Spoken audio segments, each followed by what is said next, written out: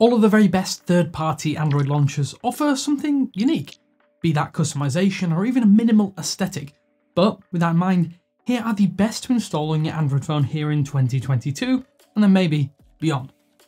Thanks for watching 9to5 Google here on YouTube. Remember to thumbs up, hit subscribe and then tap the bell icon to be among the first to watch our upcoming videos. Absolutely no list of the best Android launchers would be complete without Nova. This is the most popular third-party home screen replacement for Android and it has evolved and changed over the years, but the experience remains pretty much exceptional. A recent Nova Launcher 7 rewrite offers one of the biggest upgrades in years here too. Faster, lighter and with more customizations, to fully tweak your daily experience, Nova Launcher 7 is a powerful app for you to download and use on your smartphone or even your tablet. The startup theming options just go way beyond most stock launchers out there, plus you have the ability to adjust all manner of your UI portions to suit your specific needs. Areas such as folder pop-outs, home screen grid layouts, icons, fonts, and size are just the start of the numerous other customization controls that are available at your fingertips and allow you to do things such as disable all animations or add options to add pop-up menus for even quicker access to important controls that you need throughout the day. The added search functionality goes above and beyond the inbuilt on-device search found on many devices here too. If you haven't already taken a look at Nova, you really should here in 2022. Unlike Nova though, Lawnchair Launcher mimics the Pixel Launcher which is found on Google's smartphones and offers a really clean, kind of googly look and feel for just about every Android phone out there. It's not technically the most impressive launcher in terms of feature set, but even though it looks identical at first glance, to the Pixel launcher, it provides just enough customization over that particular option on Pixel devices, making it worth a visit. Firstly, there's the ability to set custom icon packs. This alone is probably going to be worth it if you want a little bit more than the frustrating and admittedly basic themed icons which are found in Android 12 on the Pixel launcher. You can go much, much further by adjusting things such as app accent color, tweak and create your own shapes as well for icons, and just much, much more to boot. The at a glance widget also still favours the pre-Android 12 design and this is standard on the Lawnchair Launcher 2 but you can just adjust what appears here or kind of prompt you which is kind of a neat inclusion that we wish Google would offer more readily on their own version. The Google Discover feed can also be added but you'll need to sideload the Lawnfeed APK to get this working correctly.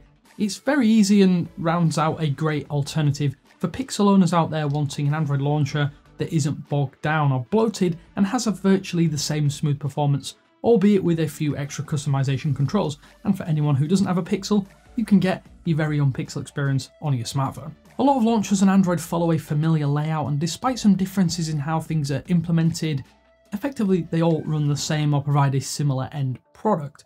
Niagara Launcher though is a completely different beast as it forgoes the traditional homepage layout in favour of what is a fusion of the app drawer and home screen and this does mean that it is going to be a very acquired taste for pretty obvious reasons. Niagara relies on a small pool of favourites which you'll need to pre-select when setting this launcher up, and these appear at the top of what is a usually alphabetical scrollable list of everything installed on your phone.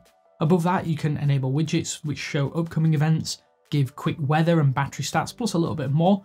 It all feels very functional in a good way. A bonus here is that notifications can be shown on your home screen, which means you don't actually need to expand the quick settings panel quite as often as you maybe would. And the alphabetical sidebar lets you quickly scroll to any apps you have hidden out of view.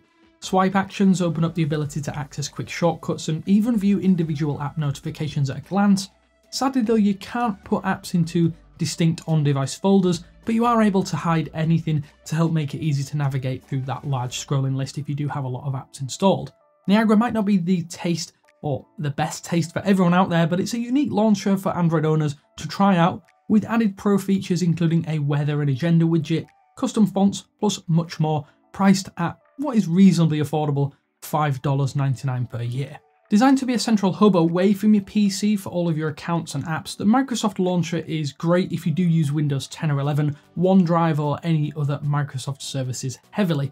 It certainly does not look the best, nor does it offer quite the same level of customization as Nova and even the Lawnchair Launcher. However, you can adjust much of your home screen and even get a daily wallpaper courtesy of the often not used search engine Bing.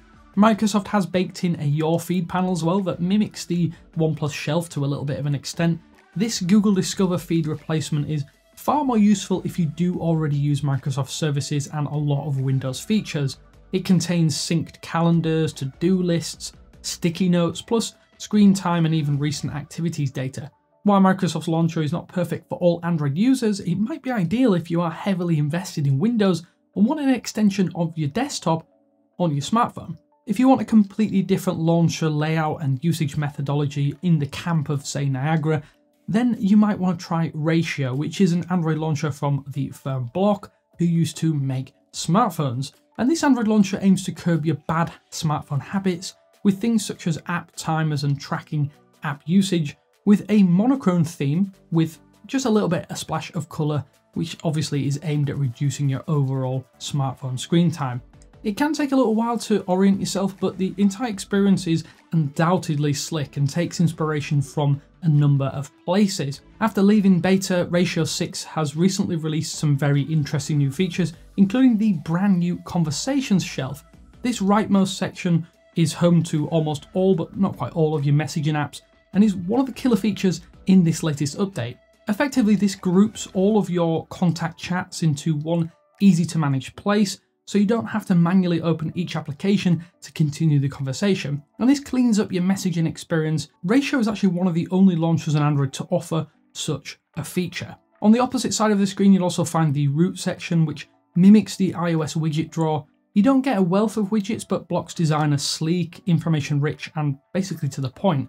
A home screen dock is also now available too, with a persistent search widget for navigating your smartphone and helping you quickly search to find things that you need. That said, at $50 per year or $150 for a lifetime account, this could be a major sore point for some out there as this is easily the most expensive option in our shortlist.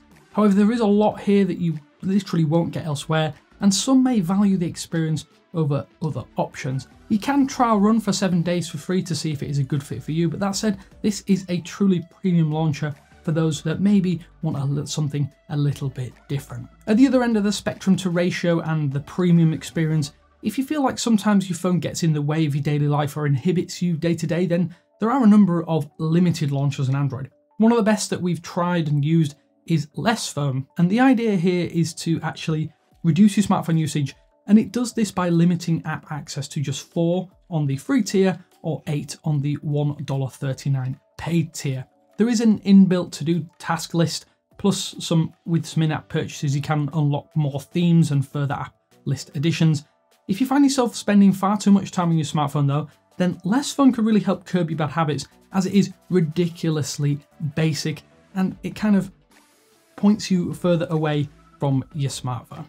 Action Launcher is another one of the all-around good options for just about every Android owner out there, and it's a classic that sits alongside Nova thanks to the customizability, update speed, and it just has a huge user base overall.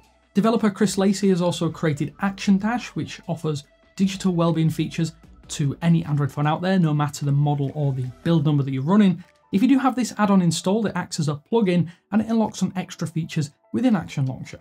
The launcher has kind of developed into a more capable version of the Pixel launcher the longer it's been around that does go beyond what Launcher offers in terms of custom controls and extras. There's also a few iOS features that have made the jump across the iPhone Android divide. Join Action Launcher here, including widget stacks, plus you can also set custom folder icons or even create app drawer folders among a ton of other little tweaks that we think you definitely might want to check out. So naturally the wealth of choice afforded by Android means that you don't even need to agree with our particular shortlist here. We want to know what is your favorite or kind of go-to launcher or even launchers if you use multiple be sure to let us know down in the comment sections below what you use and why. But as always, hopefully you enjoyed this video. Until next time, this is Damien with 9to5 Google saying thanks for watching, and I will speak to you later.